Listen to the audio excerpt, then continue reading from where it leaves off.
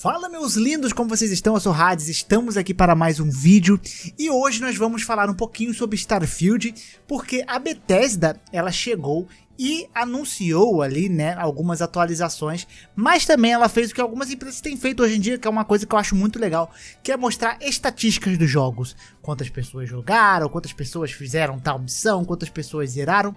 E a gente vai comentar sobre essas estatísticas, que eu confesso que eu fiquei levemente surpreendido, tá? Eu esperava menos. E vocês vão ver aqui comigo, a gente vai conversando um pouquinho. Então, clica aí no likezão, né, para ajudar nós, se inscreve se você não é inscrito no canal e vamos conversar sobre esse joguinho aí que causa muitas divisões, né? Então, né, a Bethesda chegou e trouxe algumas informações sobre o Starfield. Eu já vou mostrar aqui os números, que eu sei que vocês querem ver. Mas eles falaram do futuro do jogo, primeiramente, tá? Eles falaram que a partir do ano que vem, o foco deles é lançar atualizações a cada seis semanas, tá? A partir de fevereiro do ano que vem, isso vai acontecer. E vão até de melhorias de qualidade de vida, até atualizações de conteúdos e recurso, onde a pessoa lá na Steam, por exemplo, pode se inscrever no beta e receber um pouquinho antes esses conteúdos, inclusive, tá? Então eles leram os feedbacks também, estão animados para começar a lançar esses recursos, novas formas de viajar, por exemplo, né? Você vai poder acessar mapas locais enquanto você explora as cidades ali principais e vão ampliar a customização de naves. Eu quero ver como é que vai ficar isso, que cara, eu acho que a coisa que eu mais gostei do Starfield foi a customização de naves. E, né, com novos itens de decorações e tal, novas opções de construção e muito mais. Espero porque o interior das naves é chato de customização, não tem customização de interior, basicamente, né? Você tem a customização de partes que já vem com aquele interior pré-montado.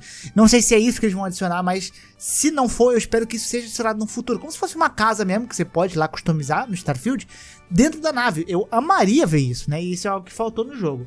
Também estamos empolgados com as novas opções de jogabilidade, tá? Então, basicamente, estão falando aqui que você vai ter uma configuração de dificuldade. Não é tipo fácil, mas é difícil, né? Você vai poder configurar e vai deixar você personalizar. Você vai poder personalizar, por exemplo, a capacidade de carga, a distância de acesso à carga, danos à nave, crédito dos comerciantes. Basicamente, eles vão dar o poder que a gente tem nos consoles, no comandos de consoles no PC, né? Que você pode abrir o menu e digitar os comandos ali. É uma coisa que você pode fazer em todos os jogos da Bethesda, desses jogos grandes, né?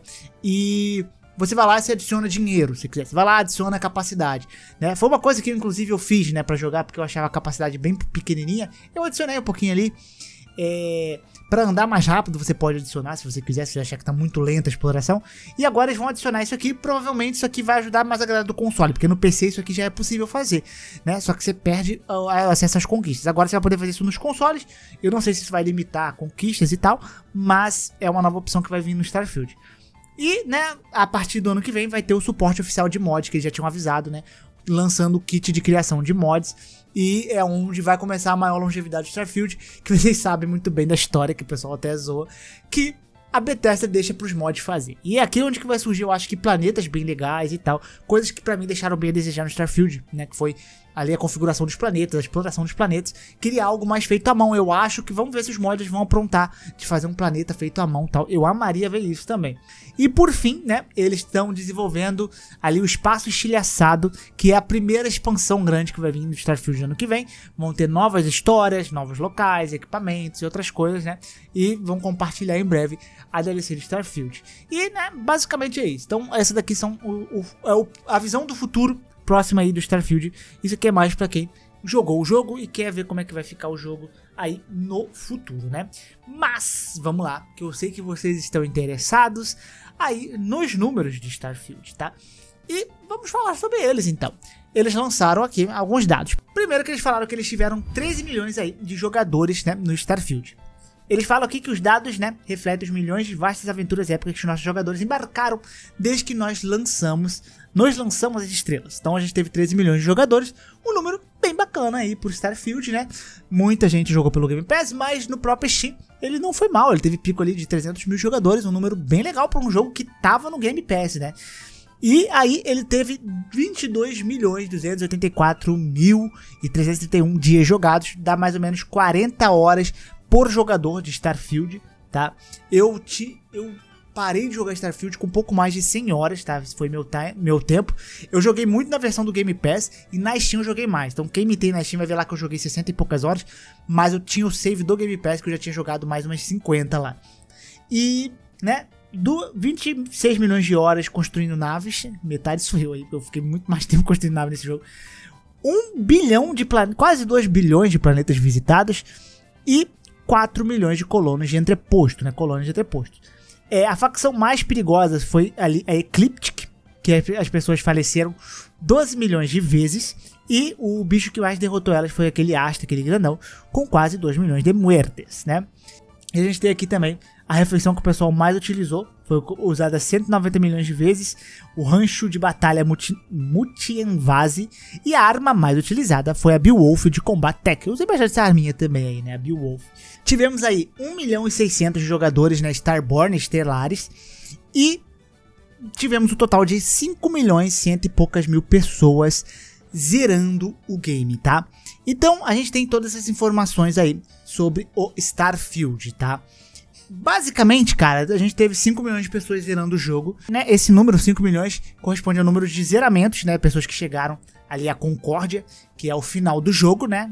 Literalmente a parte final. E, né, dessas pessoas foram 5 milhões. Mas isso aqui também, a pessoa, por exemplo, se você zerou 4 vezes Starfield, seu número está aqui contando 4 vezes. Não quer dizer que das 13 milhões de pessoas ali, né, 5 milhões ali zeraram o jogo, né? Na verdade, pelo que eu entendi aqui, o número realmente de pessoas que chegaram a zerar o Starfield foi de 1 milhão 631, que são o número de jogadores que viraram Starborns, né? Aqui vai um pequenininho spoiler, tá? Mas se você não jogou, você não vai entender nada. São o número de pessoas que, né, basicamente zeraram o jogo e viraram esse daí. Então, tipo, se você zerou Starfield e fez 6 NG, você zerou mais 6 vezes depois, você fez isso como um Starborn, a não ser que você começou um jogo novo. Então, né, você zerou 6 vezes, você entrou na estatística de 5 milhões, mas a primeira vez que você zerou como um único jogador, você entrou na estatística de 1 milhão e 600. Esse 1 milhão e 600 só repetiria né, se o jogador criar um novo jogo, começar desde o início tá, a jogar. Isso porque o New Game Plus do Starfield, ele é um New Game Plus mais rápido. Quando você zera, você consegue meio que fazer as missões rapidinhas e ruxar pro final. Isso porque você tem diferença quando você zera, você ganha umas coisas diferentes a cada vez que você vai zerando. Né? Então, você é um jogo que meio que induz o jogador a zerar mais vezes e ele tem um atalhozinho para você fazer isso mais rápido, né? Então, você tem muitas pessoas que conseguem zerar rápido depois que termina. Então, basicamente, o número de pessoas que zeraram Starfield foi 1 milhão e 600 ali, né? A gente teve basicamente é, uns 10, um pouco mais de 10% dos jogadores terminando o game, né? Um número que eu confesso que eu me impressionei. Eu achava que seria até pior, né? Eu achava que teria menos pessoas ali zerando continuamente o jogo, por exemplo, né? 5 milhões é um número legal. E 1 milhão e 600 pessoas pode parecer um número meio baixo, né? 10% dos jogadores zeraram Starfield. E eu sei que até ser, talvez seja, porque assim, o Starfield é um jogo que dividiu muita galera, né? É, além da galera ali que já entrou com aquela predisposição para não gostar do jogo, né? Que é a galera que gosta de fazer as brincadeiras de console lá, né? Vocês sabem muito bem geralmente eles droparam mesmo, porque você já entrou com aquela mentalidade que o jogo era ruim. Mas, né, tirando essa galera, eu também vi muita gente que gosta dos jogos da Bethesda, é, até o Selbit, né, eu trouxe o um vídeo aqui falando, muita gente que curte os jogos da Bethesda que não gostaram do Starfield e abandonaram o Starfield. Então assim, eu vi uma taxa alta de pessoas abandonando o Starfield, né? Só que, cara, dentro dessa perspectiva de, disso aqui, a gente tem que considerar que Starfield é um jogo bem grande, ele é um jogo bem massivo, e esses números não são ruins, cara. Sabe por quê? É porque é quase exatamente o mesmo número de pessoas que zeraram Baldur's Gate 3, cara. Sério, olha só. A Larian soltou a estatística deles né, no dia 5 de dezembro. E no dia 5 de dezembro eles falaram 1.3 milhões de jogadores completaram o nosso jogo até agora. Então, a gente tem quase a mesma taxa, né, de pessoas. Até o Starfield foi um pouco maior, quase ali, né, 300 mil pessoas a mais. O Starfield teve de pessoas zerando o game, né? Então, né, na Steam, se você for ver o troféu também, é, é muito parecido. Tipo, o, o Baldur's Gate teve 17,7% de pessoas. E né, a gente teve 17,7 pessoas também que zeraram, pegaram a conquista de que zerou o Starfield na Steam. Muito curioso, né? Então a gente tem esse mesmo número aí que Baldur's Gate na Steam, por exemplo. Mas a gente tem que levar em consideração algumas coisas, né? O Starfield é um jogo que está no Game Pass, então você tem muita gente que pega jogo para testar joga um pouco e dropa. É natural porque tá lá no catálogo, né? Você não tá gastando um tostão por isso.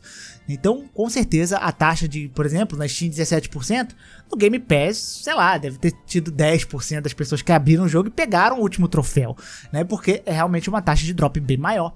Então, dentro desses cenários, eu confesso que eu não achei ruim, né? Dentro do tamanho do escopo de Starfield, né?